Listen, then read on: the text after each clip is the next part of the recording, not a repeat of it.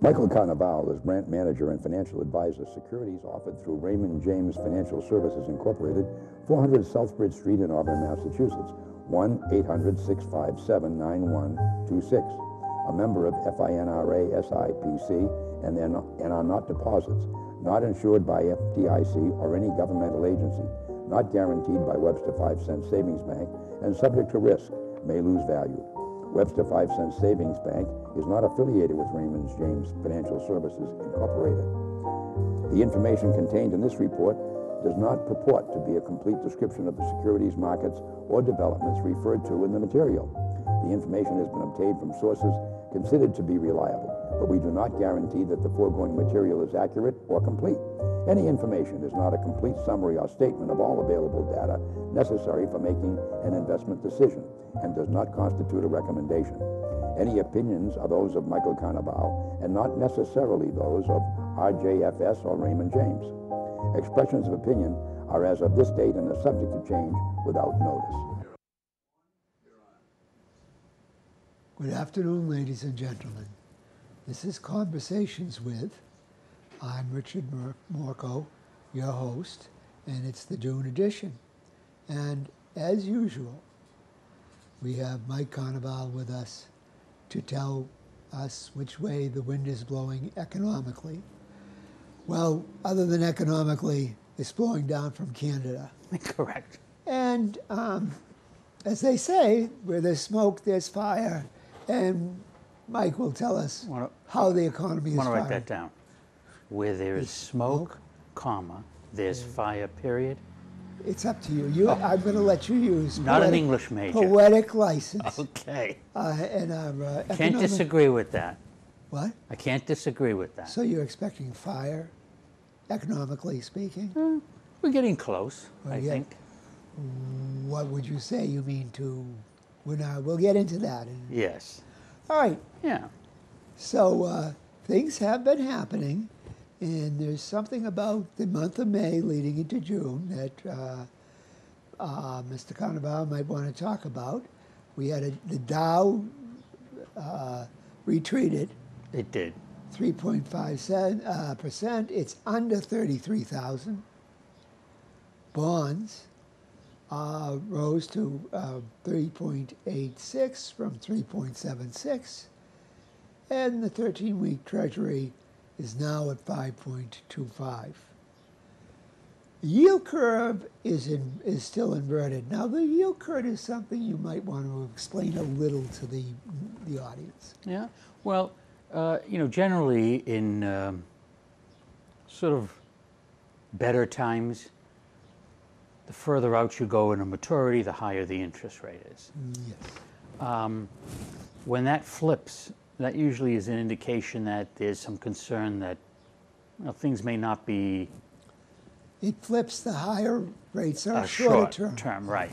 The higher rates are short term, and the further you go out, the lower the rate you get, or the lower rate you can earn. Usually, that happens when there's some concern that um, you know the economy is not going to continue to do so well, and that's kind of where we've been oh, for over a year. Yeah. But it's really pronounced now. I mean, the 13 week, well, the uh, Treasury is ended the month at five and a quarter. I mean, that's, And what are the longer bonds going? oh, you know, they're down, well, the 30 year is 3.86. So you can see it's Yep. completely inverted, and the inversion starts at about one year. So, you know, um, they tend to go up a little bit between, uh, you know, 13 weeks in a year, and then they start heading down. And usually that's not a, um, you know, a good sign. And the inversion hasn't got any worse, but it hasn't got any better either. So it's kind of stuck, kind of, you know, they usually, and when they talk about that inversion, they kind of compare the 10 year treasury with the two year treasury. And that inversion has been about 80 basis points. And it's fluctuated between, you know, 60 basis points to like 95 basis points, you know, over the last year or so. So it hasn't really gotten any better. at, at what, just as, this is unfair question, but at, at what point of a spread would it be time to start taking cyanide? When, when does it get really, really, Well, I suppose if it, if it got. I mean, if it got like, you know, over one percent, like, you know, hundred basis points or hundred twenty-five basis points, that would really be sort of an indication of how severe things could be.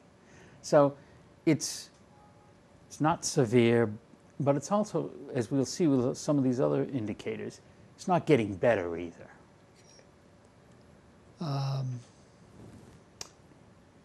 So uh, that's one thing you've emphasized that uh, this the summer's not going to be that good.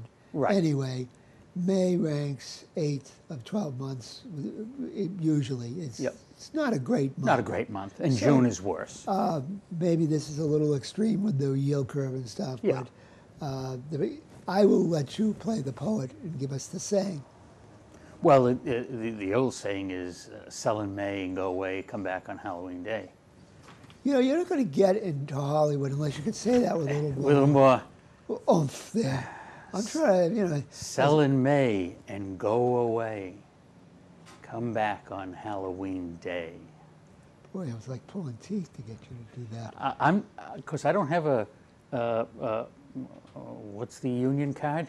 So Af- after our Yeah, I don't- SAG, SAG, SAG. I don't have a SAG card, so, SAG you know, I, So if I, if I was really good, I'd have one, but I don't have one. Well, you know, everybody starts somewhere. I suppose so, and I'm starting here, I guess. Well, no further comments. Okay. All right. Um, Dow at support after trading between 33 and 34,000 most of the year. Yeah. Explain that a little. Well, you know, uh, you want to, to to see where you may be going in the future. You want to take a look at maybe where it's been, and the market has really been stuck between a Dow 33,000 and Dow 34,000 for a very long time. Now it ended the month of May just a shade under 33,000, uh, 32,800, I think, or something like that. Um, and so that was kind of a, a point where you say, okay, is it going to, you know, with all this negative type economic stuff being talked about, the fact that it broke the lower support price, does that mean it's going to go lower and then that 33 becomes the high point? It didn't happen. We're, we're now on June 8th, and the, the Dow's up about a thousand points from from when that happened. So we're still stuck in that 33 to 34,000. So people, you know, again, I think it has a lot to do with, you know, long-term returns in the market of being able to stay in there and not being spooked by what happens. Nothing's really happening. You know, the Dow is trading between 33 and 34,000. So one day it goes down 600 points, people panic. The next day it goes up 700 points, people are excited. But from a technical side, nothing has changed because it's still sort of range bound between those two uh, uh, numbers. So the next stop on the downside would be 31,500, Right. uh, 31,500 early March. That still seems to me, being who I am, that seems a little cryp- cryptic. Yep. What do you mean by that? Next March or last March? Oh, uh, the 31,005 was early March of this year. So Then we got a big rally. Then we're big. So we're still, one could, if one were optimistic, say we're still kind of in the rally, Correct. even though we can go down and come up. Could go down, yeah. I mean, and with June being not historically a great month, would not be surprised if that, that the market will peak at some point. Well, June, you have it In the- ranks in- as the ninth Right. not nice month, Right. which is worse than the 8th of May, so uh, as a bad month. And uh, recently it's been really mixed. Six of the last 10 years, June has gone up. Right. So it's, you know, it's historically not a good month, but, you know, the last decade it's been 50 50. Is that, uh, do you, do you read anything into that, that the world, you know, the universe is telling us something? Nothing. Okay, well, they found evidence of the UFOs, they're saying now. Okay. That's- I, I, nothing other than um, if you lose money on your statement in the month of June, I wouldn't be too surprised. Okay, now we will, after all the little uh, optimism, pessimism there, we'll, we'll get on to the technicals. Okay, All right, short-term sentiment improved correct. during the sell-off. 200-day New York Stock Exchange moving average is now 45% versus 52 a month ago. Right. Explain that to Miss and Mrs. America. So Uh, Mrs. and Mrs. Charlton. a month ago, 52% of the stocks that are listed on the New York Stock Exchange were above their average price over the past year. What happened in the month of May? The market went down. So now instead of 52% being above their average price, it's down to 45. That's a good sign. That's a good sign because now people say, ah, we're bottoming out a little. Right. Okay. And maybe I should think about taking a flyer on um, Boeing, which just announced a, uh, Uh, some type of uh, another problem with Yeah, the uh, problem. 787, is it? yeah, and buy on bad news, uh, one of the Rothschilds once said. Okay. Yeah. All right. Volatility uh, uh, index now at 18 versus 16 a month uh, uh, ago. Um, that means there's lower fear. Correct. It's gotten a little better. You want a high number there, uh, but it's still under 20. And 20 is that point where um, low fear becomes average fear.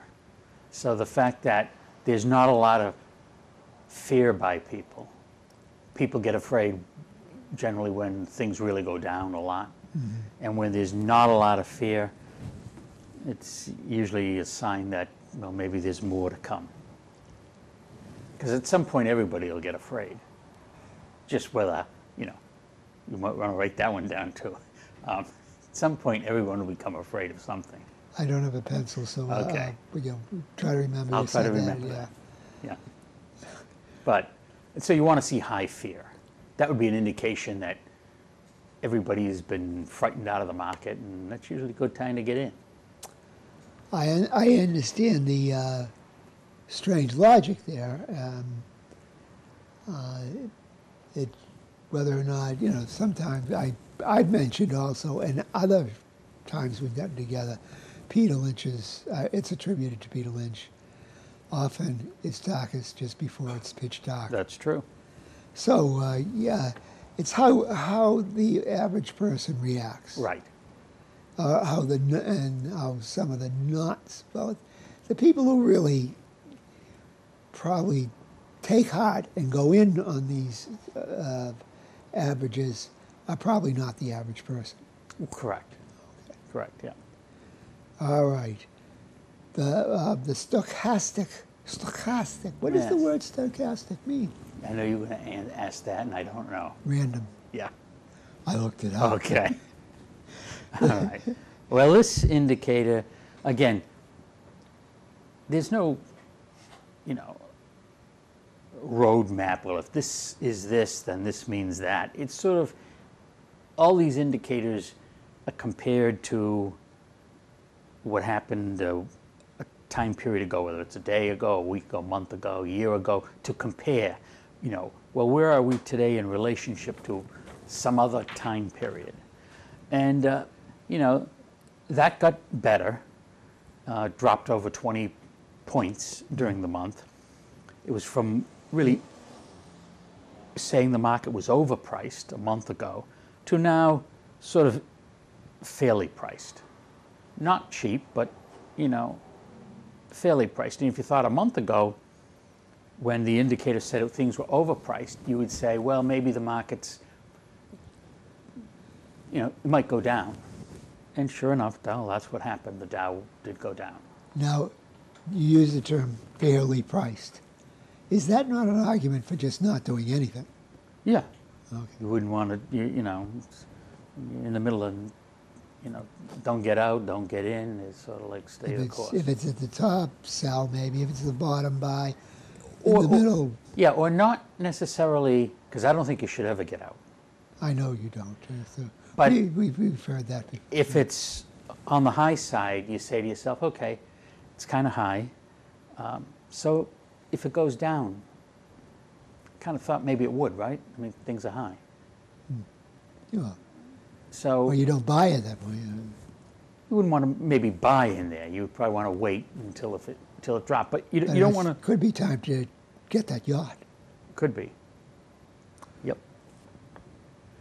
Um, And then the catch-all one is that f- fear and greed index, which takes into seven other indicators. And again, that gives you an indication of, you know, whether people are comfortable with the current level of the market or that they're really worried.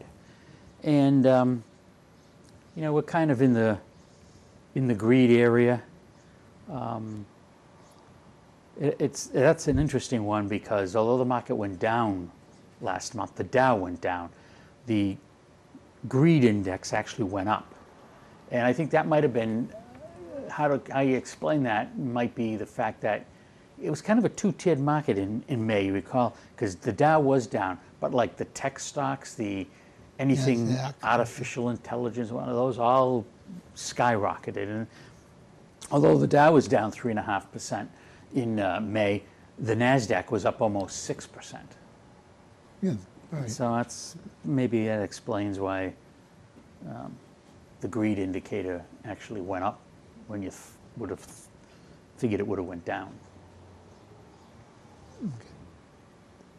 So what do we do? Tell the tell the audience what they should do.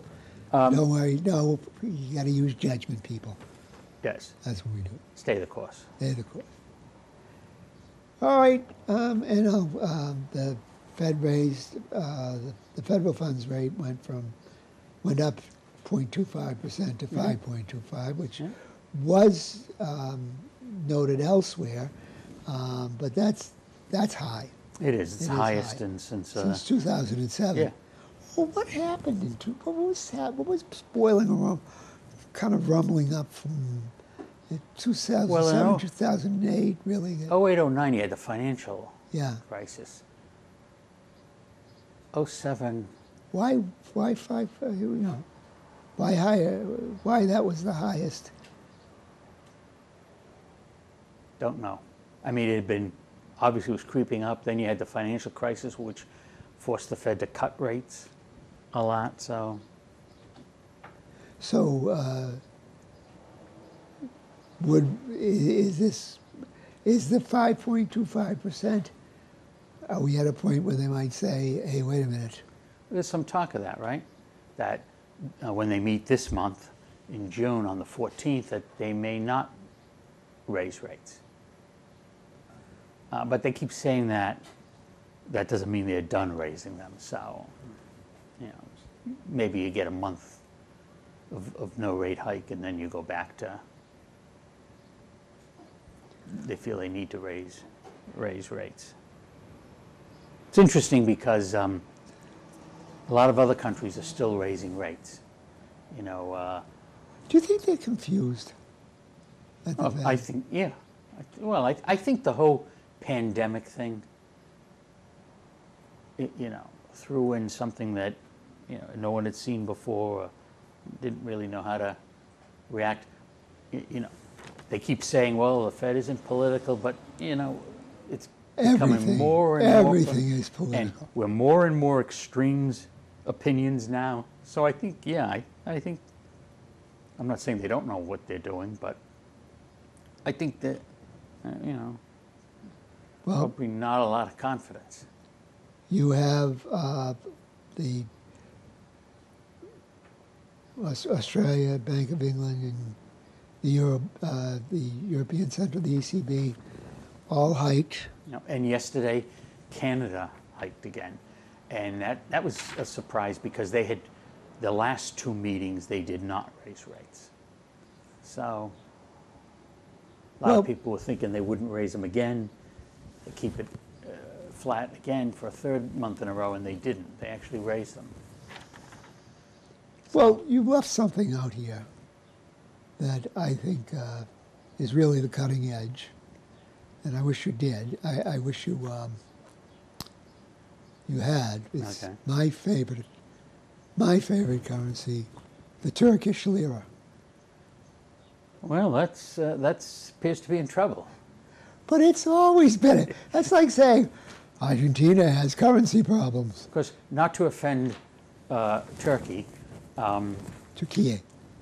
I think that it's T U R K I Y E now. Okay. Um, I, I don't think it really matters what they do. The interest rate, you know, they played with their interest rates, you know, f- for political reasons. Um, you know, the, the, the president there has tried to, He just got reelected. he got reelected, right? But he, he, you know, he replaced people in the central bank with people that were favorable to uh, cutting rates to help him politically. So I'm not so sure Turkey is I, I think it's a fascinating experiment in that um, this has been going on for several years. Mm-hmm. He didn't just start, uh, you know, inflating the, his own currency the uh, last week. right. Yeah, so he, he, I guess probably when he started, he said, "This will make sure the economy just takes off." Yeah. And I don't know how good or bad it's done, but if you have to keep up something like that forever, um, how's he survive? And it's a good question is, you know, are we going to be like that? Because, you know, in 19, what was it, 71 when we, we tossed out gold, mm-hmm. that was when inflation really started and it's never stopped. It may not go up. I haven't mm-hmm. I noticed what you wrote here. Right. But if you said 19 from 1971, if we compressed it to 2023, uh, where we mm-hmm. are now, the decline of the dollar, and we said it would happen in say one or even two years, you'd say we're we're almost to hyperinflation. Right. So we're doing essentially kind of the same thing in a way, but just not at the speed. I mean, he's doing it kind of uh, at the monetary speed of light. Yeah, I think their inflation number came out was at forty percent or something. Forty percent. Yeah. And ours is oh, we, we, we Well, it peaked at eleven. at, at, uh, at us or them? Yeah, us Us. peaked at eleven. So I mean, uh, which year? Uh, Oh. uh, the, the seventy. Oh no uh, no 80 no! no. Was it last year? Last year peaked at 20 or 21? 21, yeah, end of 21, beginning of 22. I think Biden has to change his name to Erdogan. okay, um, uh, you know, uh, so we're talking about Erdogan versus Biden. Uh, the Duke of Wellington inspected his troops the night before the Battle of Waterloo, Mm-hmm. Yep. and he looked at them and he said, "I don't know if they scare the French, but they sure scare the hell out of me." And uh, I don't know if the Federal Reserve scares the hell out of you. Well, I think it's. I, I keep. You're a seasoned pro. I'm not. Yeah, and I keep hopping on the. You know, all we're seeing is extremes. You know, really. How, how long can you see extremes? Because when the extreme becomes normal, Well, that's the prob. That would be the problem, if the extremes ever became normal. now we got to write this down in some different way. Yes, Why Yeah. don't you bring a pen? I. You know, pen and a notepad. yeah, I mean this is gold here. You know, I mean, you know, you probably don't hear this everywhere, right? No, God, But no, I mean, I, I guess they let these people two walk down the street. not on the same street or the same town. I have often walked down the street before. Um, again, it is Massachusetts.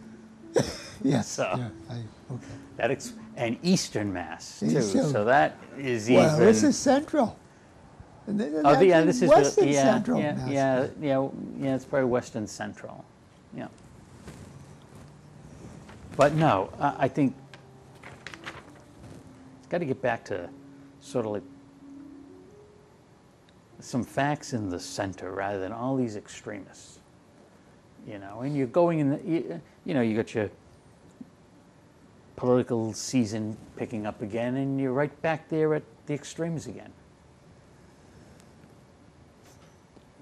Whereas you were not at the extremes before. Um, you know, I, don't- I don't think you were as extreme as Okay. you are. Let's let's be let's get this in precision. Yep, not as. See, we're not as extreme. Now we're going to get really extreme. Yeah. All right. So let's go to the economy. And going in the right direction again. Yeah, the rate now this is because I've beaten you up every time. Uh, yes, and I remember Yeah, so the rate of increase is is going in the right direction. is is falling. But we are still still inflating. Yes, Okay. just at a slower pace. And it's at at a slow plate. pa- So we- we're not going to hell in a handbasket. No. But we're still going to hell. Right, just slowly. Slowly. All right.